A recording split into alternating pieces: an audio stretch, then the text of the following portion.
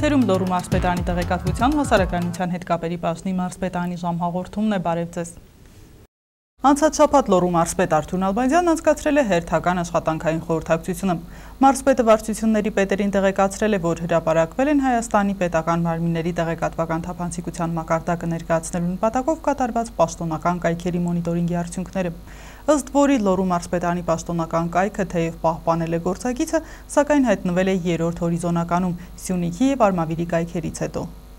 Մարսպետը հանձնարարեց շտկել տեղեկատվության ապահովման հետ կապված արձանագրված բաց թողումները, ձգտել առավել թափանցիկ գործելավոճի։ Գյուղատնտեսության եւ բնապահպանության վարչության պետը տեղեկացրեց, որ մարզում բնականon հունով ընթանում է կառավարության կողմից մատչելի գներով տրամադրվող պարարտանյութի բաշխման գործընթացը։ Ընդհանուր առմամբ մարզը ներկայացրել է 1000 տոննա պարարտանյութի պահանջարկ, որն ամբողջությամբ բաշխված է։ Պարարտանյութի համար պետք է վճարվի 100 միլիոն դրամ, առայժմ սակայն վճարվել է ընդամենը 10 միլիոն 500 500.000 դրամ։ Մարսպետը հանձնարարեց գումարների հավաքագրման գործընթացը հնարավորինս արագ կազմակերպել։ Դիզվառելիքի բաշխման գործընթացը եւս սկսված է։ Նալբանդյանի խոսքով անհրաժեշտ է այս տարվա համար նախատեսված առաջին վերարտադրության ծորենի սերմացուն տալ այն համայնքներին, որոնք մարել են նախորդ տարվա պարտքը։ Նալբանդյանը մարսպետարանի համապատասխան վարչությունների պետերին եւ պատասխանատու անձանց հանձնարարեց նաեւ լուրջ ուսումնասիրություններ կատարել մարզի սոցիալ-տնտեսական իրավիճակի եւ զարգացման հնարավորությունների վերաբերյալ նշելով կոնկրետ ոլորտները և ֆինանսավորման դեպքում զարգացման հեռանկարները։ Բացի նշվածը մարսպետի կարծիքով անհրաժեշտ է լուրջ ուսումնասիրություններ կատարել ըստ տարածաշրջանների, շեշտը դնելով արդյունաբերության, գյուղատնտեսության և որպես տնտեսության զարգացման այլընտրանքային ճյուղ տուրիզմի վրա, որպես մարզի զարգացման հիմնական ուղղություններ։ Սարգիս Գոքորյան, մարսպետարանի ժամ։ Անցած շապատ աշխատանքային խորհրդակցություն է հրավիրվել Սպիտակի քաղաքապետարանում։ Նիստ ղեկավարել է Մարսպետը, մասնակցել են Սպիտակի տարածաշրջանի համայնքների ղեկավարները։ 2014 թվականի հունվարի 1-ից նախատեսվող նվազագույն աշխատավարձերի բարձրացման պայմանավորված կարևորվել է քաղաքապետարանների, գյուղապետարանների, համայնքային ոչ առևտրային կազմակերպությունների աշխատակիցների նվազագույն աշխատավարձերի բարձրացման ֆինանսավորման խնդիրը։ 2014 թվականին համայնքային բյուջեների կազմման աշխատանքներին անդրադառնալով մարզի ղեկավարը նշել է, որ անհրաժեշտ է կազմել իրատեսական բյուջե։ Մարսպետը կարևորել է հանրային քննարկումների կազմակերպումը հետագա խնդիրներից խուսափելու համար, ինչը կհանդիսանա մասնակցային կառավարման կարևոր քայլերից մեկը։ Արտագնախորհրդակցության ընթացքում քննարկվել է նաև Բերքահավաքի ընթացքը, աշտանացանի աշխատանքները, համայնքներին կառավարության աջակցությամբ մատչելի գներով տրամադրվող պարարտանյութի դիսվառելիքի բաշխման եւ գումարների հավաքագրման գործընթացները։ Խորհրդակցության ավարտին Լոռու մարզպետը համայնքապետերին հորդորել է լավ պատրաստվել Բերքի տոնին։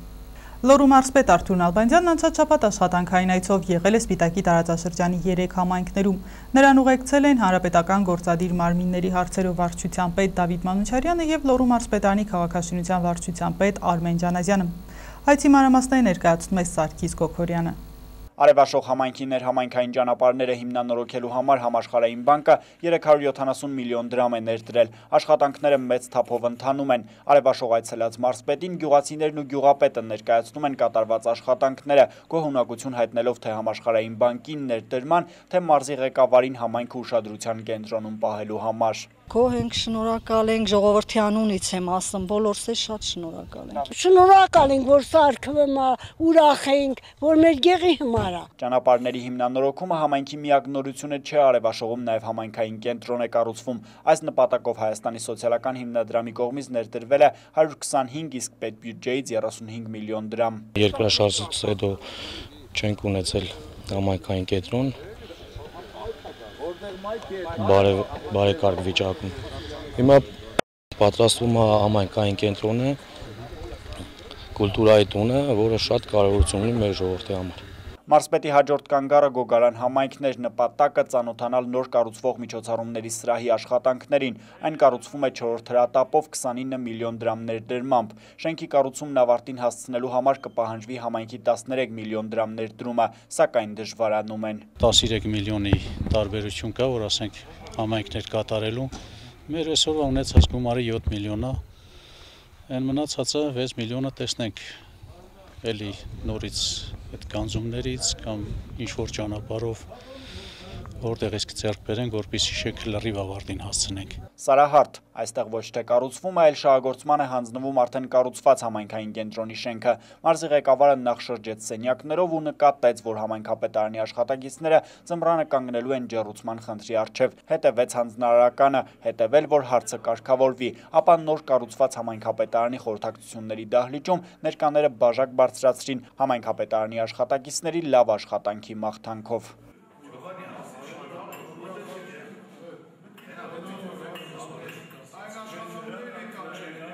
այստեղ համայնքային կենտրոն չկար, ընդհանրապես եւ դոմիկային պայմաններում էին աշխատում եւ ինչպես տեսակ արդեն ավարտվել է շինարարության ողջ աշխատանքը, արդեն համայնքային բոլոր ծառայողները աշխատում են իրենց հարմարավետ աշխատասենյակներում եւ ես համոզված եմ ու վստահ, որ այսուհետ նման նորմալ պայմաններում աշխատանքը կլինի ել ավելի արդյունավետ եւ աշխատանքի արդյունքները կտեսնեն ոչ միայն մենք, այլ հենց կոնկրետ համայնքի բնակիչները։ Սարահարթի համայնքային կենտրոնը կառուցվել է երկրորդ հրատապով, ծախսվել է 40 միլիոն դրամ։ Սարգիս Գոքորյան, Արտակ Բրուտյան, Մարսպետարանի ժամ։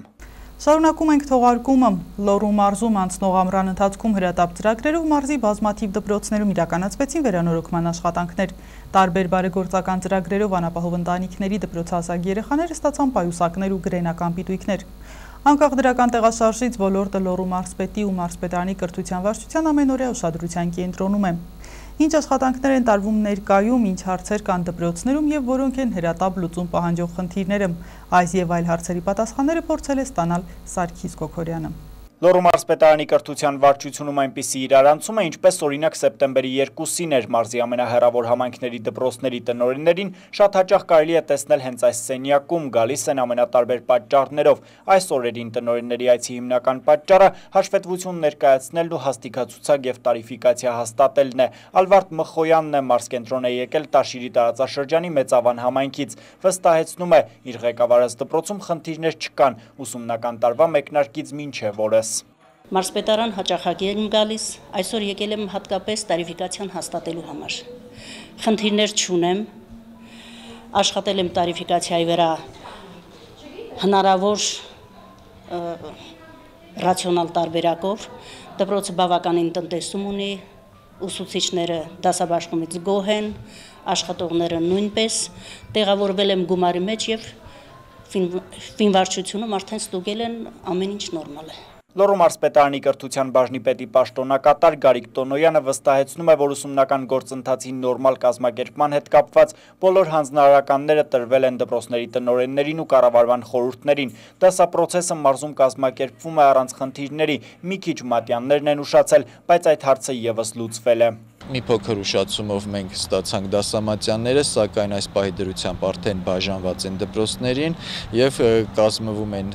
դասացուցակներ, արդեն կազմված դասացուցակները ներառվում են դասացուցակների մեջ, որպեսզի որ դասապրոցեսը նորմալ ընթացք ունենա։ Լոռու մարզպետարանի կրթության բաժնից հիշեցնում են, եթե առկային կամ կառաջանան խնդիրներ, անհրաժեշտ է անմիջապես դիմել իրենց։ Խնդիրներ են եղել օրինակ դպրոցներում այս կամ այն դասագրքի պակասի հետ կապված։ Տնօրենները դիմել են եւ դպրոցների միջև կատարվել է դասագրքերի փոխանակում։ Ոլորտը մարզային իշխանության ամենօրյա ուշադրության կենտրոնում է։ Սարգիս Գոքորյան, Արտակ Բրուտյան, մարզպետարանի ժամ։ Անցած շաբաթ Երևանի Արաբգիր վարչական շրջանից պատվիրակություն էր այցելել Լոռի։ Փոխադարձ այցելությունները տեղի են ունենում Երևան մարզեր համագործակցության ծրագրի շրջանակներում, որն ունի ավելի քան 1 տարվա պատմություն։ Լոռու մարզպետի կարծիքով Արաբգիր վարչական շրջանի եւ Լոռու մարզի միջև կնքված հուշագիրը տալիս է իր պտուղները։ Հյուրերի օրակարգին հետևել է մարզպետանի ժամի նկարահանող խումբը։ Առաջին կանգարը Վանաձորի մանկատունն էր հյուրերին ուղեկցում էին Լոռու փոխմարսպետ Վանիկ Ասատրյանը, Լոռու մարսպետարանի այլ աշխատակիցներ։ Արաբկիր վարչական շրջանի ղեկավարը մինչ շենք մտնելը մանկատան Բաքում ջրեց նախկին վարչապետ Անդրանիկ Մարգարյանի տնկած Եղևնին։ Մեր Ռուսակի վարչապետը մեր մանկատունը այցել է դեռևս 2007 թվականին եւ Եղևնին է տնկել մոտավորապես 30 սանտիմետրանոց, իսկ այդ Եղևնին արդեն համարյա 1.5 մետր է դարել եւ ավելի է պարտավորեցնում դա Այսինքն բարեգործը, որ ցանկացել ենք անենք նրա տեղի Երևանի քաղաքապետի նախաձեռնությամբ, այսօր պատական այնպես ստացեց, որ նաև եղել է Անդրանիկ Մարկարյանը տեղ այցելել եւ դա կլինի շարունակական, ինչպես մեր, այնպես էլ մեր սերնդների կողմից։ Երևանցի հյուրերը շտապում են օրակարգը հագեցած է Վանաձորի մանկատան, երեխաների խնամքի եւ պաշտպանության թիվ 1 գիշերօթիկ հաստատության եւ թիվ 1 օժանդակ դպրոցի բոլոր երեխաներին պատվիրակության ներկայացուցիչների կողմից հանձնվեցին նվերներ։ Վերջին երկու հաստատություններ հյուրերը այցելեցին Լոռու մարզպետի խորհրդով։ Նվերները պատրաստել էին ինչպես վարչական շրջանի աշխատակիցները, այնպես էլ Արաբկիրի դպրոցների երեխաները եւ Հայաստանի Հանրապետական կուսակցության կանանց խորհրդի ներկայացուցիչները։ Հաշվի էին առնվել երեխաների սեռը եւ տարիքը։ Ես համոզված եմ, որ հատկապես պարոն Անտոնյանը լինելով Լոռու մարզի ծնունդով մեծ բարեկամություն են կանելու եւ շահելու են եւ երեխաները եւ քաղաքը եւ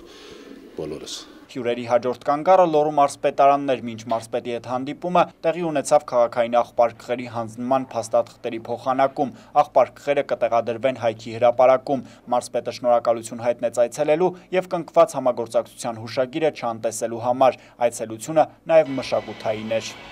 Կներկայացնեն Ամերիկային մասի եւ դա համագործակցության շարունակություն է նաեւ որովհետեւ բոլոր դեպքերում բոլոր առումներով արվեստը, արվեստով, մշակույթով ավելի շատ են կապվում երկու համայնքները, իսկ դրա օրինակը մենք ունենք այս երկու տարվա համագործակցության շրջանակներում մեր տարբեր դպրոցներ իրենց մշակութային մասերով համատեղ այցելություններ են իրականացվել Վանաձորի Շարլ Լանձնաուրի անվան մշակույթի պալատում համատեղ համերգով ամփոփվեց օրը։ Արաբկիր լորի համագործակցությունը շարունակվելու է, արչևում նոր անակնկալներ են սպասվում։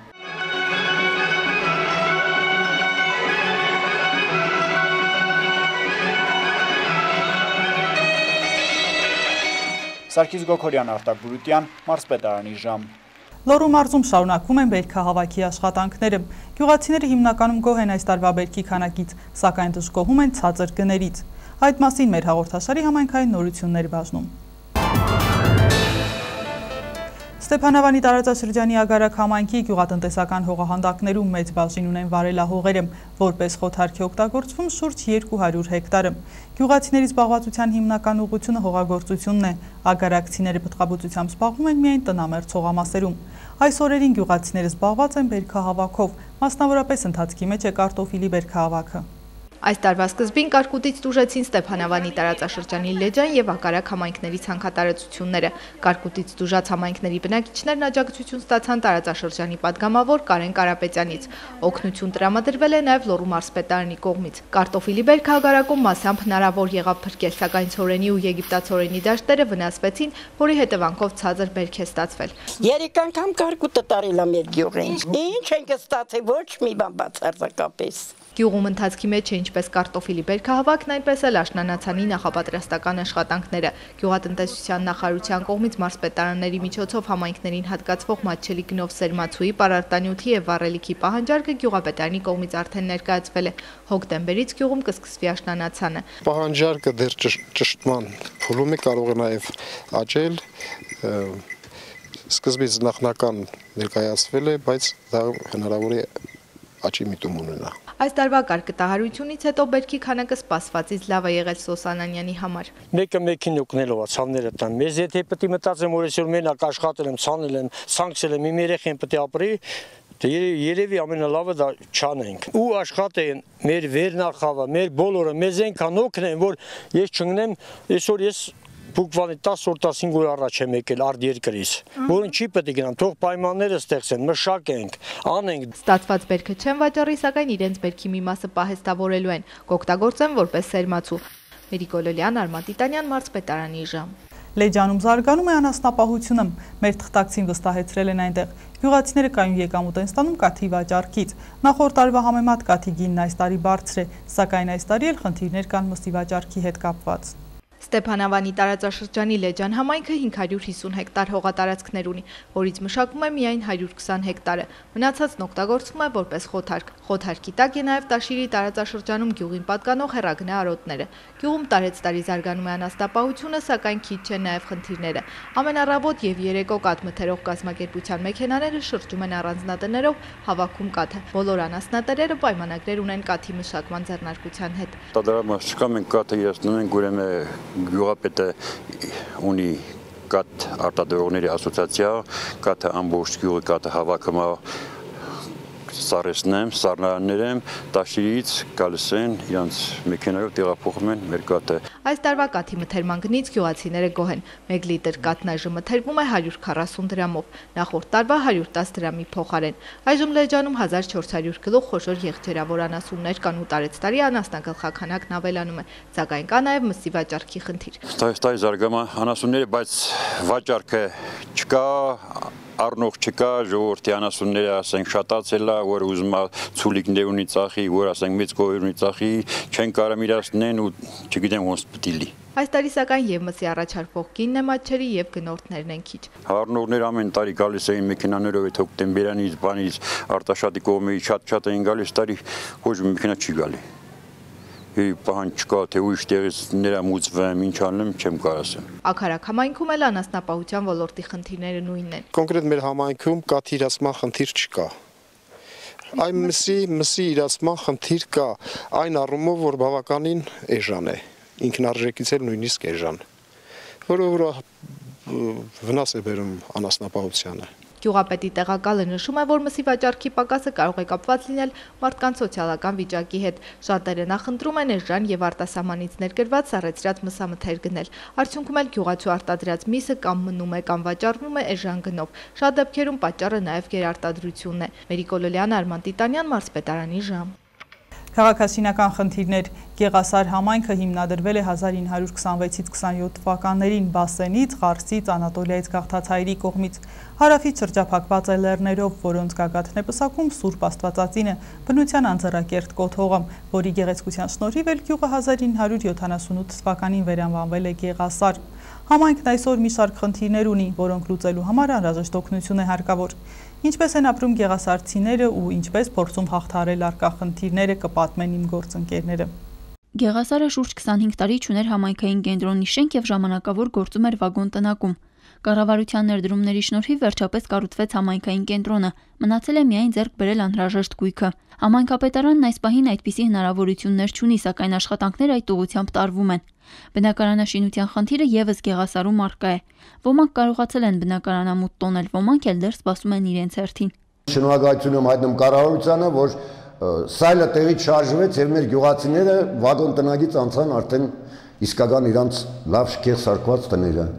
Գեղասարում ինչպես ամենուր գլխավոր խնդիրը մնում է ճանապարհների բարեկարգումն ու խմելու ոռոգման ջուրը։ Մարդիկ ստիպված են դույլերով եւ այլ տարաներով ջուր տեղափոխել։ հա գնա հետո բերեմ է։ Սո ինչի կամ էի։ Հետո ինտել դերել է սկմելու ջուրը կոկա կուբը։ Հա։ Չի գա։ Դե այնտեղ այսօր չի գա։ Որտես կբերես սկմելու ջուրը։ Այն ներքևների։ Ահա։ Կիլոմետրն դի բանին։ Ես 10 օր խմելու ջուր բերես։ Գնում եմ Նալբանդից կամ Պարնից կամ Հարալից եմ ջուր բերեմ։ Ջուր չկա։ Յուղամիջին գնացեք, խնդրեմ նկար հանեք։ Ջուր չկա։ Դժվարություններ կան նաև նորաստեղծ ընտանիքների համար։ Համայնքապետարանն այսօր միջոցներ չունի նրանց օգնության ձեռք մեկնելու բնակարանով ապահովելու հարցում։ Հիմա գյուղում, եթե մի բնակարան պետք է սարքես 30-ից 40 հազար ԱՄՆ դոլար պետք է ունենաս, որ կարենաս մի 3 սենյականոց գոնե գյուղում տուն սարքես, դենց մարդիկ շատ քիչ են։ Գյուղում դժվար է։ Այո, բաժանվել են, բայց մի տեղ են ապրում։ Վագոն են դնում, ապրում են, չգիտեմ, նորից ոնց որ վագոնները հետ կա, այդենց վիճակ է։ Տեղացիներն ասում են, եթե գյուղացին աշխատի անասնապահությամբ զբաղվի, կկարողանա ապրել շնորհիվ ստացած եկամուտների։ Սակայն այստեղ էլ ըստ համայնքապետի բարդություններ կան։ Անասնագում սարքելու համար գյուղացին պետք է գտնի որևէ շինկազմակերպություն, գյուղապետարանից համապատասխան փաստաթղթեր ձեռք բերի եւ այլն մեր կառավարությանը դիմեի, որ գոնե այդ անաստա գոմերի համար թող պրոյեկտ չլինի, բան չլինի, եկամ ուզումներ կա։ Գյուղացիներ գնում է այն պրոյեկտիստի մոտ նա 100.000 ասում, նրան 50.000 ասում։ Չգիտեն մի ճիշտ գին չկա, որ մարդիկ իմանան, եթե ուժերը պատ, իսկ եթե կարենան գոմը առանց դրանց սարքելու բոլորն է կմեծացնեն, բոլորն է գոմերը կավելացնեն։ Եթե այս խնդիրները կարողանանք հաղթահարել ու լուծել, համարյա կնմանվենք քաղաքի, ասում է համայնքի ղեկավարն ու անցնում առօրյա հոգսերին։ Վիկտորիա Կարապետյան, Լիլիթ Յոլչյան, Մարսպետարանի ժամ։ Մարցում լայն թափով ընթանում է հիմնական դպրոցի վերակառուցման աշխատանքները։ Դպրոցը տեղավորված է համայնքապետարանի շենքում, դասերն էլ պարապում են երկհերթ։ Թումանյանի տարածաշրջանի Մարց համայնքում սկսված է հիմնական դպրոցի շենքի վերակառուցման աշխատանքները։ Շինարարական աշխատանքներն ընթանում են ծրագրի համաձայն, իսկ դպրոցի ուսուցիչներն անհամբեր սպասում են շինարարության ավարտին, երբ վերջապես գյուղը կունենա նոր դպրոց։ Մարցի դպրոցական շենքը կառուցվել է նախորդ տարի 60-ական թվականներին եւ տարիներ շարունակ գործում էր անմխիթար պայմաններում։ Այսօր պետության կողմից շնորհալի գործ է կատարում, այսինքն դա ավելի մեծ հերանեկարներ ստեղծվի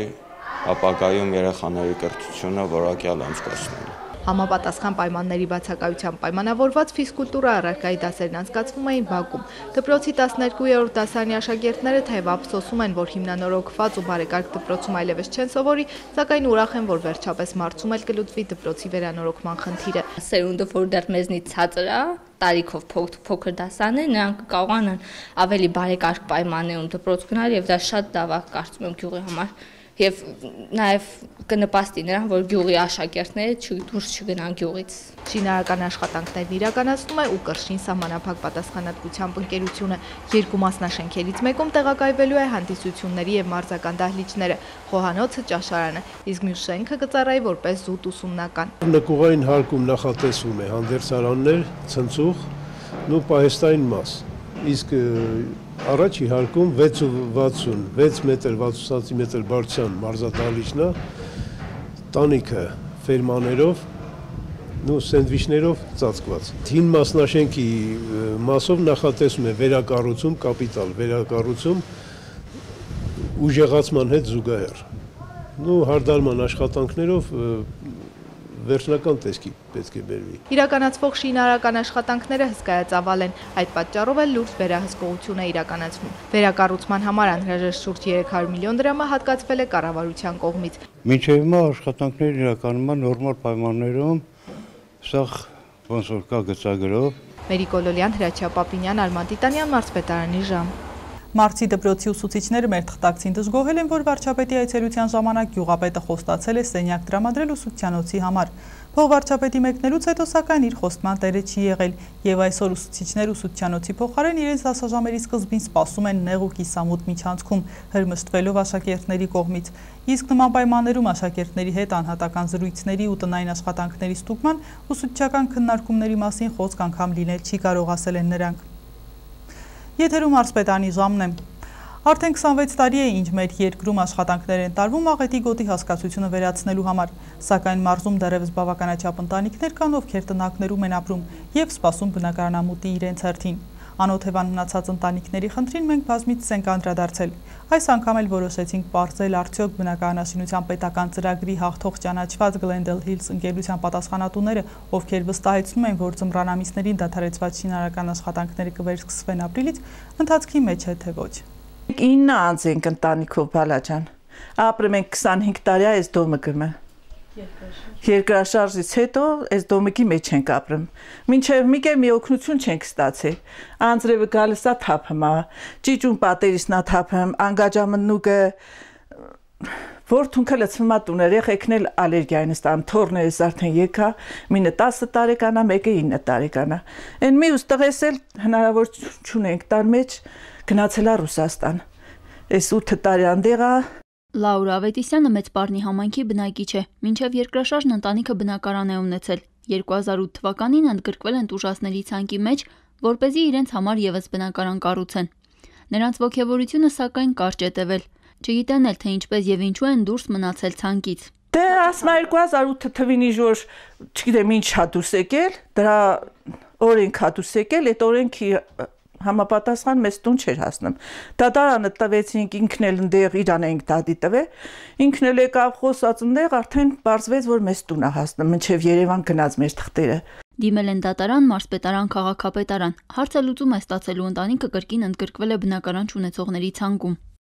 Ես հիվանդ կին եմ։ Բաժակով ջուրը տնեմ եմ, որ տեղս քշերը խմեմ, աղջիկ ջան, վերեմ կենեմ, տենեմ կրուշկում սարելա ջուրը։ Պատկերացու ինքանա ցուրտ, որ այդ այդ վիճակը մենք քնում ենք այս դոմը կմը։ Ամառնել շոկ կրակ անգաջամնուկը մի կողմից անձրևներն է գալիս է նկարեցի դու տեսար քո աչքերով թե ջուրը ոնց է թափել սաղ աբոյինը ոնց է փչանում Ըստ հանրապետության նախագահի տրված հանձնարարականի, երկրաշարժի հետևանքով անօթևան մնացած ընտանիքներին բնակարանով ապահովելու ծրագիրը պետք է ավարտվի մինչև այս տարեվերջ, բայց թե ինչպես դեռ ոչ ոք չգիտի։ Շինարարական աշխատանքների տեմպերը դանդաղ են առաջ շարժվում։ Պրոցես էլ է ստացվել 88 թվականի անչափահասը այսօր դարձել է չափահաս իր ծնողը երբ որ ընտանիքից զրկվել է հիմա արդեն այդ չափահաս մարդը 25-30-35 տարեկան է ունի ընտանիք ունի իր երեխաները բնական է նա այն ժամանակ երբ որ եղել է դպրոցահասակ եւ եթե ծնողը փոխհատուցվել է բնակարանով այդ երեխան շահ այլևս շահառու չի բայց հիմա չափահաս է եւ ապրում է տնական պայմաններում այդպիսի ընտանիքներ էլ ունենք մի քանիսը բայց նա բնականաբար շահառու չի։ Վիկտորիա Կարապետյան, Լիլիթ Յոլչյան, Մարսպետարանի ժամ։ Տաշիրի տարածաշրջանի ձյունաշող սահմանային հեռավոր համայն գնալու համար մեծ փորձությունների պետք է ենթարկես քեզ եւ սեփական տրանսպորտային միջոցդ։ Յուղն արտաքին աշխարհին կապող ճանապարհը գտնվում է քարուքանդ վիճակում։ Մարդատար մեքենաները շատ հաճախ հրաժարվում են այնտեղ գնալ։ Ձյունաշողը գնալով դատարկվում է, մարդիկ զրկված են կենցաղի նվազագույն պայմաններից։ Ձյունաշողը փախստականներով բնակեցված գյուղ է, որ հիմնադրվել է 1970 թվականին։ 1989-ին Ադրբեջանից բռնագաղթված հայերը հաստատվել են սահմանամերձ այս գյուղում։ Հիմա 200 մարդ է ապրում, որոնց համար արդեն երկար տարիներ անլուծելի խնդիր է խմելու ու ռոռոկման ջուրը, միջհամայնքային ու գյուղամիջյան ճանապարհների բարեկարգումը։ Մեր գյուղի խնդիրները առաջներդ ինքնետ տեսակոր ճանապարհն է, դպրոցը, խմելու ջուրի խնդիր չունենք 2009 թվին վերանորոգվել է թազա խողովակներով բանով նորմալ է։ Այս տարի թազա ամայքային կենտրոն մարսպետի աջակցության 4-րդ հրատապով համայք թազա ամայքային կենտրոն վերանորոգեցիք։ Գյուղում ապրում ենք շատ, ասենք, բարդ վիճակում, քանի որ գյուղը ապահովված չի գազով, նախ վառելիքի, ասենք, պակասը Բացի դրանից գյուղի աշխատանքն էլ բավականին դժվար է, հետո երեխաների համար էլ գյուղում չկա, ասենք, այն պայմաններ, ինչ որ կա քաղաքում, որպեսի երեխային տանք օրինակի համար սպորտի դպրոցական, ինչ որ երաժշտական, ինչ որ գծով։ Դրա համար բավականին, ասենք, անհետաքրքիր է գյուղում երեխայի համար մեծանալը։ Մարդիկ հեռանում են, գյուղը դատարկվում է։ Քանդված տների մի մասը հենց տանտերերն են քանդել, որպես շինանյութ վաճառել ու լքել գյուղը, քանի որ տունն ամբողջությամբ վաճառել չեն կարողանում։ Շրջկենտրոնից հեռու եւ լքված համայնքում ոչ ոք բնակություն հաստատել այլևս չի ուզում։ Համայնքապետի տեղակալի խոսքով իրենք բնակիչներին համայնքին կապելու մի շարք ծրագրեր են նախաձեռնել։ Մի մասն իրականացրել են, մյուսը ֆինանսների պատճառով թղթի վրա է մնացել։ Թազա համայնքային կենտրոնում ուզում եմ փորդալ ինչպես բան սարքեմ, դրանեմ տրենաժոր բիլիարդ, որ ջայլները զբաղվեն։ Մի քիչ այդ կաղույքի բանի խնդիրներ կա, տնակ, եթե կարողանա կլուծեք։ Այստեղ հիմնականում զբաղվում են անասնապահությամբ, մի քանի տնտեսություն էլ բանջարաբոստանային կուլտուրաների մշակմամբ։ Այս տարվա բերք ու բարիքից գոհ են։ Մեր մոտ չի մշակվի հողեր, այս երկու տարի որ դրսից մարդ է որ մեր մոտ այսօր մոտ 300 հեկտար ծորեն է ցանում այս երկու տարի։ Այս տարի նորմալ է։ Տեղ կա որ մուկը ավիրել է, բայց ընդհանուր նորմալ է։ Գյուղնախարարն եկել էր գոհեր, տեսավ ասում է սարի դոշերին ոնց են մարդիկ ծորենցան։ Դյունաշողթիները պատմում են, որ աշնան առաջին օրից սկսած արդեն իրենց մոտ զգացվում է ձմռան շունչը։ Ձմեռն այստեղ երկարատև է սառնաշունչ։ Այդ ամիսներին գրեթե կտրվում է դյունաշողթիների կապը քաղաքի հետ։ Նորոգման կարիք ունի նաև գյուղի դպրոցը։ 43 աշակերտ ունեցող դպրոցը ձմռան ամիսներին գործում է ընդամենը 1 դասարանով, քանի որ բոլոր դասասենյակների ջեռուցումն ապահովել հնարավոր չէ։ Այս տարի 4-ից 5 ընտանիք դպրոցի պատճառով տեղափոխվել է Մեծավան համայնք։ Անցած տարի առաջին դասարան չեն ունեցել, այս տարի ընդամենը երկու աշակերտ ունեն։ Սրաները մեծ են, աշակերտները քիչ են եւ ջերուցումը շատ վատ վիճակում է, քանի որ դից վառելիքով ենք տակածնում մեր դասարանները։ Բացի դրանից, ասենք, եթե աշակերտը գալիս է նստում է սառած վիճակում, արդեն նրա համար դժվար է չէ մտածել, ասենք, դասի մասին հետո ասենք դասարանների կահավորվածությունը դա էլ մեծ նշանակություն ունի։ Ձյունաշողթիների միակ ուրախությունն այն է, որ գոնե այսուհետ կկարողանան արտաքին աշխարհի հետ կապ ստեղծել ինտերնետի միջոցով։ Վիկտորիա Կարապետյան, Լիլիթ Յոլչյան, Մարսպետարանի ժամ։ Կրթամշակութային խնդիրներ Զբոսաշրջության համաշխարհային օրը Երևանում Հայաստանի երիտասարդական հիմնադրամը կազմակերպել է զբոսաշրջային ցուցահանդես։ 25 տաղավարներում ներկայացվել են հանրապետության 10 մարզերը եւ ներգնատուրիզմի ոլորտում գործունեություն ծավալող կառույցներ։ Տուրիստական էքսպոն նպատակ ունի վերհանել ներգնաց զբոսաշրջային ներուժը Հայաստանում։ Լոռու մարզի տաղավարում սլայդների միջոցով ցուցադրվել են մարզի տեսարժան վայրերը ներառյալ հյուրանոցները այցելուներին լորին գրավել է ոչ միայն տեսարժանվայրերի բազմազանությամբ ու գեղատեսիլ բնությամբ, պարի զանազան տեսակներ, մեղր, գինիների տեսականի եւ իհարկե լորվա սալորից պատրաստված օղին ամբողջացրել են մեր սեղանները։ Այցելուները համտեսել են նաև Մարսի տարածքում ապրող ազգային փոքրամասնությունների կողմից պատրաստված հոնի ապուրը, թթուները եւ ռուսական հացը։ Առանձին ներկայացված է եղել արդյունաբերական туриզմի պոտենցիալը՝ իդեմս Վալեքս խմբի ձեռնարկությունների։ Այսօրվա միջոցառումը շատ գեղեցիկ է եւ տեղին է տուրիզմի միջազգային օրվա հետ կապված շատ գեղեցիկ միջոցառում է կազմակերպել Հայաստանի երիտասարդական հիմնադրամը Մարսպետանի հետ համատեղ եւ մենք սիրով եւ լավ տրամադրությամբ մասնակցում ենք նման միջոցառմանը։ Վիվասել ՄՏՍ-ի կողմից մարզի սահմանային ճիլիսա եւ բարձր լեռնային ծաղկաշատ գյուղերին մատուցվեց հերթական նվերը։ Փոքրիկ համայնքների փոքրիկ դպրոցներին ընկերության կողմից տրամադրվեց 3 G Wi-Fi երթուղիչ նախատեսված հենց երեխաների համար. MTS Connect սահմանափակ գերարակ ինտերնետ փաթեթով։ Ջիլիզայում եւ Ծաղկաշատում եղել է Մեդի Կոլոլյանը։ Վրաստանին սահմանամերձ Լոռու մարզի Ջիլիզա համայնքում 120 մարդ է բնակվում։ Գյուղի միջնակարգ դպրոցում սովորում է 16 աշակերտ։ Տարիներ շարունակ Ջիլիզայի բնակիչները կտրված է եղել արտաքին աշխարից։ Գործել է միայն ռադիոկապը։ Ռադիո հեռախոսից հետո օգտվել ենք Վրաստանի մակտի ջոսելետ կապից ենք օգտվել, որը որ շատ թանկ էր նստում բնակչության վրա։ Հիմա օգտվում ենք վիվասելի կապից։ Մենք եթե ասենք թողանք գյուղը գնանք, գյուղն արդեն ոնց որ դատարկվում է, ինչ անենք ստիպված են գյուղում ապրելու։ Գյուղի միջնակարգ դպրոցում համապատասխան մասնագետ չունենալու պատճառով օտար լեզուներ չեն դասավանդվում։ Չկա նաև ֆիզիկայի մասնագետ։ Ինֆորմացիայի ասպացը մասամբ լրացնելու կգա գերարագ ինտերնետ փաթեթը։ Vivassel MTS-ի կողմից Ջիլիզայի կրթօջախին տրամադրվեց 3 G Wi-Fi երթուղիչ նախատեսված հենց երեխաների համար։ MTS Connect սահմանափակ գերարագ ինտերնետ փաթեթով։ Այդ հնարավորությունն արդեն կա, դպրոցում էլ որ լինի, արդեն գրադարաններից էլ կարող են օգտվել լեզու լեզուների ծառայություններից էլ կարող են օգտվել եւ լրացուցիչ կրթություն ստանալու հնարավորությունից էլ բնականաբար։ Ծաղկաշատի հիմնական դպրոցում այժմ սովորում է 8 աշակերտ։ 9-ից 11-րդ դասարաններում սովորելու համար գյուղի երեխաները գնում են քաղաք։ Անցած տարի 3 աշակերտ ավարտեց, այս տարի 3 առաջին դասարանցի եկան։ Հույս ունեն, որ մյուս տարի ավելի շատ կգան, քան ավարտողները կլինեն։ Եղած աշակերտներին տեղում պահելու եւ կրթության որակի բարձրացմանը կնպաստի գերարագ եւ անվճար ինտերնետը, որը հատկացվեց դպրոցին։ Գյուղում երեխեքը չեն կարողանում շփվեն, ասենք իմանան ինչ որ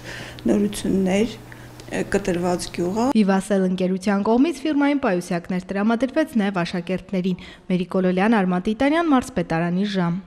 տեղի ունեցել գրող մանկավարժ հոգեբան Ռոզա Վարդանյանի շղթայազերծ խոհեր ժողովածուի շնորհանդեսը, որի մեջ ամփոփված են հեղինակի բանաստեղծությունների ու երգերի մի փունջ։ Գիրքը բաղկացած է հավերժի երկիր մայրեկոչումդ օջախում քեզանից հետո սերնանտես փրկիչ բախտի սանիվը խորուրդ ավետիս բարի եւ ընթերցողների արձագանքներից գլուխներից։ Հրատարակվել է Հայաստան հրատարակչությունում, այն խմբակրել է Վահագն Սարգսյանը։ Ռոզա Վարդանյանը մինչ այսօր հրատարակել է հրաշամանուկ երազների տունը սերես երկերից մեջ աղետի կվանաձորի թիվ 24 նախակրթարանում և կարոտի ոստան գրքերը։ Նրա մանկական երկերը և բանաստեղծությունները տպագրվել են հանրապետական թերթերում և ամսագրերում։